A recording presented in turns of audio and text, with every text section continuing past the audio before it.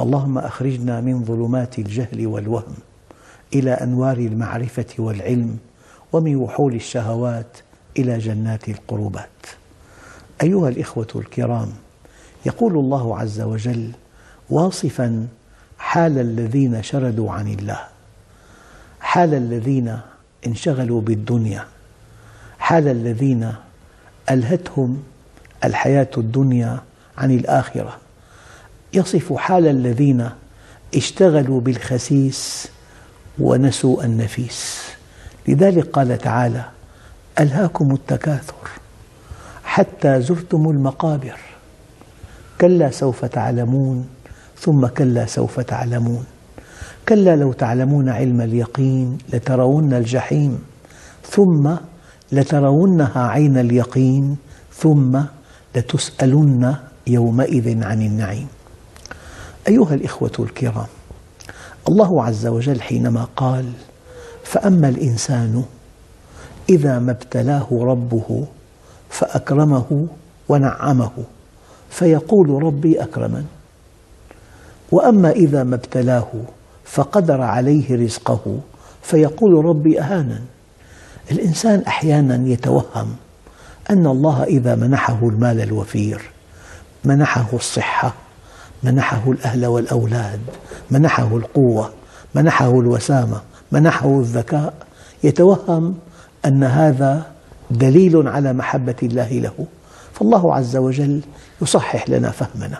قال فأما الإنسان إذا ما ابتلاه ربه فأكرمه ونعمه فيقول هو هذه مقولته هذا وهمه هذا تفكيره هذا تصوره فيقول ربي أكرمن وأما إذا ما ابتلاه فقتر عليه رزقه فيقول ربي أهانن جاء الجواب ردعا والفرق كبير بين النفي والردع.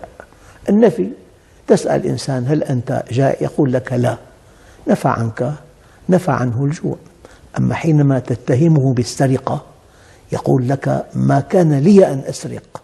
فالله سبحانه وتعالى أجاب إجابة ردعية فقال كلا أي أن يا عبادي ليس عطائي إكراما ولا منعي حرمانا. عطائي ابتلاء وحرماني دواء. يعني الله عز وجل يعطي الدنيا لمن يحب ولمن لا يحب. أعطى القوة إلى فرعون وهو لا يحبه. أعطى المال إلى قارون وهو لا يحبه وأعطى القوة إلى نبي كريم سيدنا سليمان وهو يحبه وأعطى المال إلى عبد الرحمن بن عوف وهو يحبه. الشيء الذي يعطى لمن يحب ولمن لا يحب لا يعد مقياسا إطلاقا لا يعد مقياسا إطلاقا. فلذلك أيها الإخوة فأما الإنسان إذا ما ابتلاه ربه فأكرمه ونعمه فيقول ربي أكرمن وأما إذا ما ابتلاه فقدر عليه رزقه فيقول ربي أهانا كلا.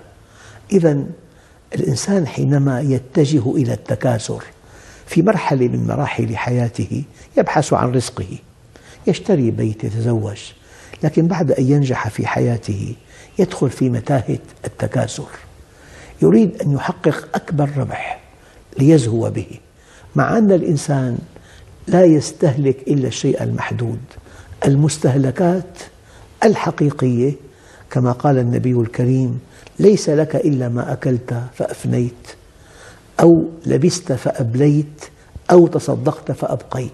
والباقي يسمى عند العلماء كسبا تحاسب عليه حسابا دقيقا مع أنك لم تنتفع به.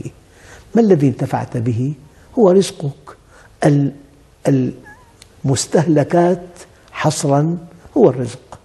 فيا أيها الإخوة الكرام حينما قال الله تعالى ألهاكم التكاثر هذا زلت قدمه ونسي سر وجوده وغاية وجوده ودخل في متاهات تجميع أكبر أرباح ونسي أن الغني عبادته الأولى إنفاق المال. وما جعل الله الغني غنيا إلا ليكون في أعلى درجات الفردوس بماله.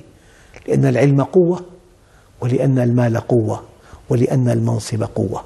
وأنا أقول دائما إذا كان طريق القوة في المال أو في العلم أو في المنصب وفق منهج الله فينبغي أن تكون قوياً لأن فرص العمل الصالح أمامك لا تعد ولا تحصى.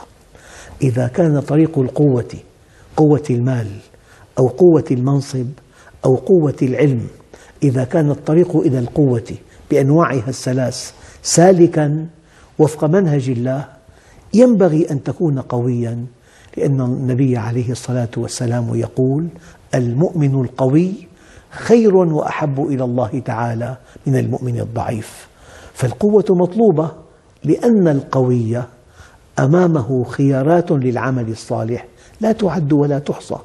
بل إن بعض العلماء يقولون هناك عبادة الهوية. أنت من؟ أنت غني؟ عبادتك الأولى إنفاق المال. أنت قوي؟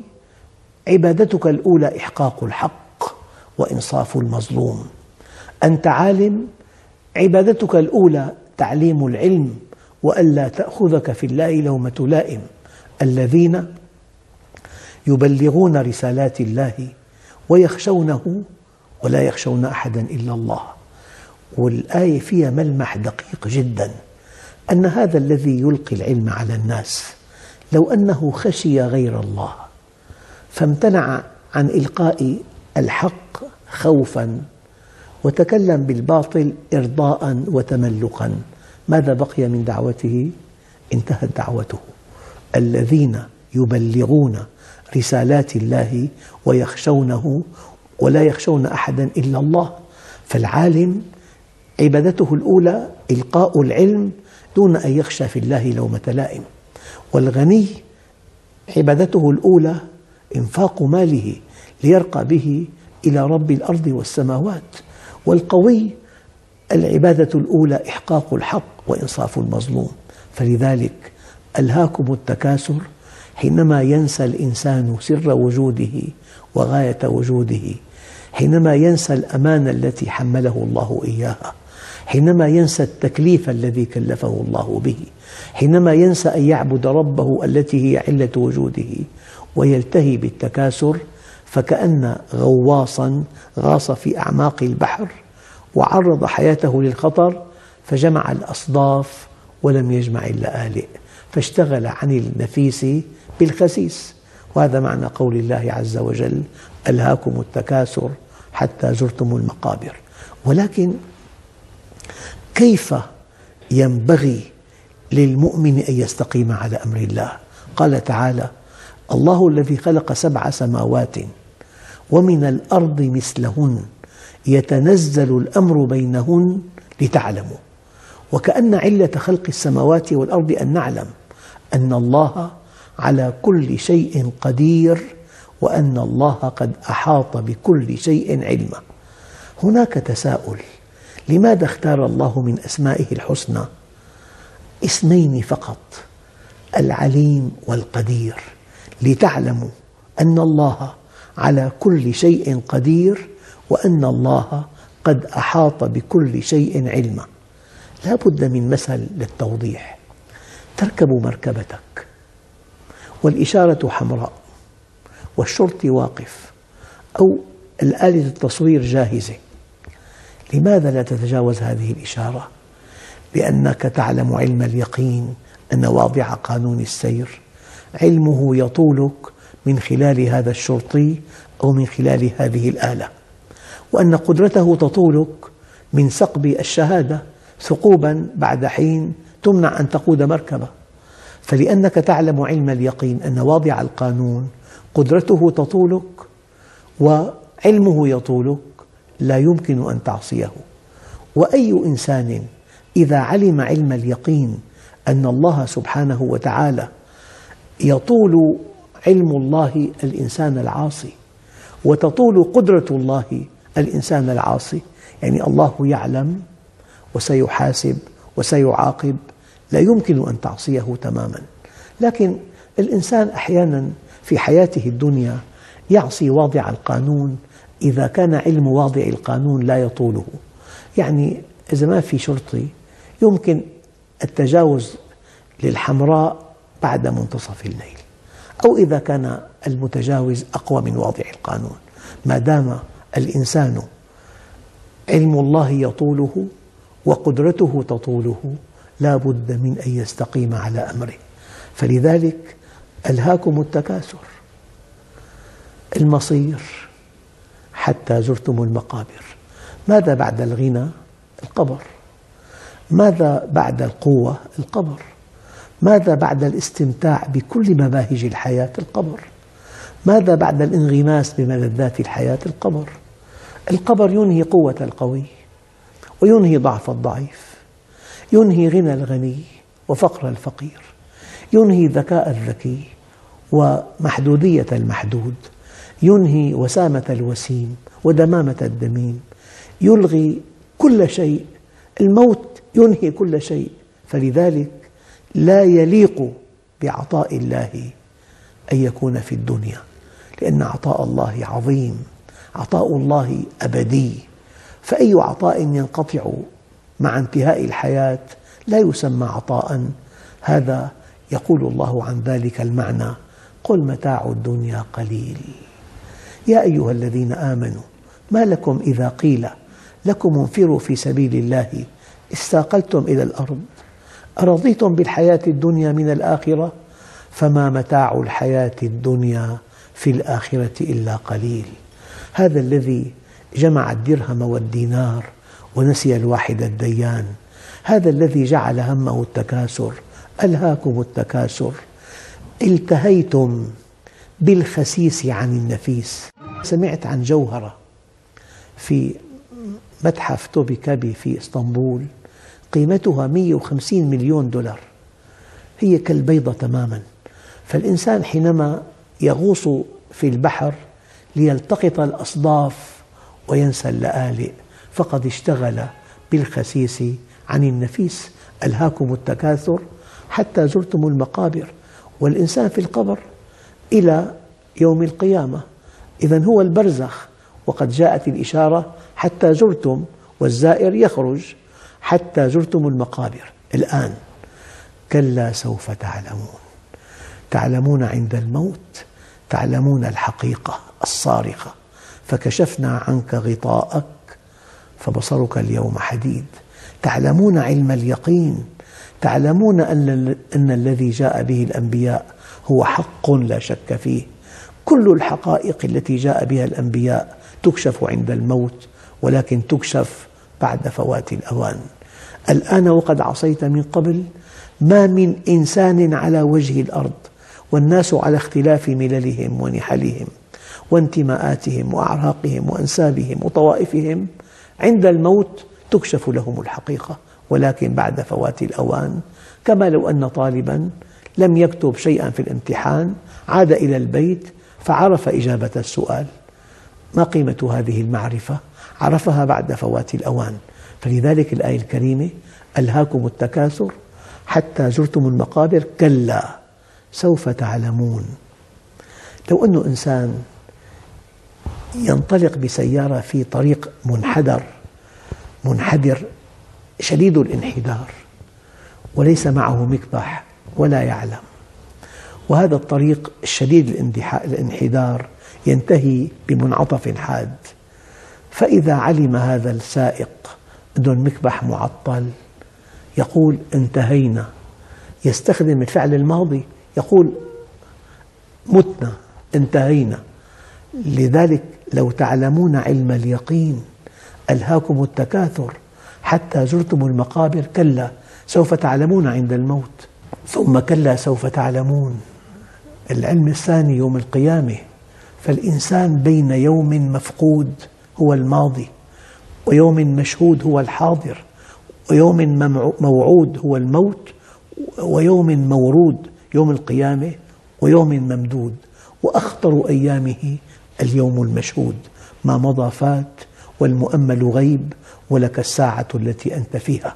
كلا لو تعلمون علم اليقين لترون الجحيم. لو علم الإنسان أن مركبته مع هذا الانحدار الشديد والسرعة العالية وهذا الانحدار ينتهي بمنعطف حاد وليس معه مكبح أيقن بالموت أيقن بحادث مروع يقضي عليه وعلى أسرته. كلا لو تعلمون علم اليقين لترون الجحيم ثم لترونها عين اليقين ثم لتسألن يومئذ عن النعيم هذا الوقت الفراغ المديد كيف أمضيته؟ لم لم تطلب العلم؟ لم لم تحضر دروس العلم؟ لم لم تفتح القرآن الكريم؟ لم لم تسأل العلماء عن معاني هذه الآيات؟ لم لم توقع حركتك اليومية وفق منهج الله؟ لم لم تفكر لماذا خلقت؟ لماذا خلقك الله في الدنيا؟ لما غفلت عن عبادته وعن طاعته؟ لما جعلت همك التكاثر وجمع الأموال؟ لما استعليت على الناس بمالك؟ لما حرمت الناس من فضلك؟ لماذا آثرت أن يبقى المال لك وأن تغرق في النعيم من خلال هذا المال وتنسى الفقراء والمساكين ألهاكم التكاثر حتى زرتم المقابر كلا سوف تعلمون ثم كلا سوف تعلمون. أما كلا يعني أداة ردع أنا ما خلقتكم لهذا. لو أن الدنيا تعدل عند الله جناح بعوضة ما سقى الكافر منها شربة ماء. كلا إياكم والتكاثر. ابحثوا عن سر وجودكم وعن غاية وجودكم. ولماذا أنتم في الدنيا؟ أنتم من أجل العمل الصالح والدليل أن الإنسان حينما يوشك أن يغادر الدنيا يقول رب ارجعوني لعلي أعمل صالحا. والله أيها الإخوة لو كشف الغطاء كما قال سيدنا علي رضي الله عنه يقول والله لو كشف الغطاء ما ازددت يقينا أي أن يقينه قبل كشف الغطاء كيقينه بعد كشف الغطاء. يقينه قبل كشف الغطاء كيقينه بعد كشف الغطاء. وله مقولة رائعة. قال والله لو علمت أن غدا أجلي ما قدرت أن أزيد في عملي. لو علمت أن غدا أجلي ما قدرت أن أزيد في عملي. وقال هذا الإمام الجليل قوام الدين والدنيا أربعة رجال عالم مستعمل علمه عالم مستعمل علمه وجاهل لا يستنكف أن يتعلم. وغني لا يبخل بماله وفقير لا يبيع آخرته بدنياه. دقق. قال فإذا ضيع العالم علمه استنكف الجاهل أن يتعلم. وإذا بخل الغني بماله باع الفقير آخرته بدنيا غيره. فلذلك الآية الكريمة ألهاكم التكاثر. حتى زرتم المقابر. كلا! أنا ما خلقتكم لهذا. خلقتكم لمعرفتي. خلقتكم للإيمان بي. خلقتكم لعبادتي. خلقتكم لأسعدكم في الآخرة. في جنة عرضها السماوات والأرض. أرسلت بكم إلى الدنيا كي تتهيأوا للجنة. كي يكون عملكم الصالح في الدنيا سبب دخول الجنة. ألهاكم التكاثر حتى زرتم المقابر؟ كلا. كلا. لم تخلقون لهذا. لم تخلقوا لهذا. كلا سوف تعلمون عند الموت ولكن بعد فوات الأوان. ثم كلا سوف تعلمون يوم القيامة ولكن بعد فوات الأوان. كلا لو تعلمون علم اليقين لترون ما أنتم فيه جحيما. لو يعلم الإنسان أن أخطاءه كلها سوف ترديه يكره سلوكه يكره حياته. كلا لو تعلمون علم اليقين لترون الجحيم ثم لترونها عين اليقين. يعني في عنا علم استنباطي تماما كما لو رأيت دخانا وراء جدار تستنبط بعقلك أنه لا دخان بلا نار. هذا علم يقيني ولكن إذا انتقلت إلى ما وراء الجدار فرأيت النار بعينك كلا لو تعلمون علم اليقين لترون الجحيم ثم لترونها عين اليقين ثم لتسألن يومئذ عن النعيم. قال بعض المفسرين قطرة الماء البارد تسأل عنها نعمة الأمن تسأل عنه نعمة الزوجة والأولاد لما لم تحمل أهلك على طاعة الله؟ لما لم تربي أولادك؟ نعمة المال أين أنفقته؟ هل أنفقته على الفقراء والمساكين؟ أم استعليت به على خلق على خلق الله عز وجل؟ لتسألن يومئذ عن النعيم. تصور تحاسب عن نعمة الأمن تحاسب عن نعمة الصحة تحاسب عن أية نعمة على الإطلاق. نعمة الفراغ. نعمة الفراغ لا تعدلها نعمة. بإمكانك بالفراغ أن تطلب العلم. بإمكانك بالفراغ أن تعرف الله أن تحضر مجالس العلم أن تقرأ القرآن أن تقرأ سيرة النبي العدنان. بالفراغ تفعل كل شيء بل إن الإنسان الذي ليس عنده وقت فراغ لا يعد من بني البشر. الإنسان بوقت الفراغ يؤكد ذاته فإذا كان عندك وقت فراغ هذا ينبغي أن تستهلكه فيما خلقت من أجله. خلقت من أجل معرفة الله. كلا لو تعلمون علم اليقين لترون الجحيم. لهوكم شرودكم عن الله. همكم الأول جمع الدرهم والدينار. من أصبح وأكبر همه الدنيا. جعل الله فقره بين عينيه وشتت عليه شمله. ولم يؤته من الدنيا إلا ما قدر له. ومن أصبح وأكبر همه الآخرة. جعل الله غناه في قلبه. وجمع عليه شمله وأتته الدنيا وهي راغمة. أيها الإخوة مرة ثانية إذا رجع العبد إلى الله نادى مناد في السماوات والأرض أن هنئوا فلانا فقد اصطلح مع الله. ما من مخلوق يعتصم بي من دون خلقي أعرف ذلك من نيته فتكيده أهل السماوات والأرض إلا جعلت له من بين ذلك مخرجا وما من مخلوق يعتصم بمخلوق دوني أعرف ذلك من نيته إلا جعلت الأرض هويا تحت قدميه وقطعت أسباب السماء بين يديه. أيها الإخوة الكرام أرجو الله سبحانه وتعالى أن تكون هذه السورة القصيرة سورة يمكن أن تنقلنا من حال إلى حال. من مقام إلى مقام من شرود إلى وجود من معصية إلى طاعة من غفلة إلى يقظة. هذه السورة من أدق السور ألهاكم التكاثر. حتى زرتم المقابر كلا سوف تعلمون ثم كلا سوف تعلمون كلا لو تعلمون علم اليقين لترون الجحيم ثم لترونها عين اليقين ثم لتسألن يومئذ عن النعيم. والحمد لله رب العالمين. والسلام عليكم ورحمة الله وبركاته.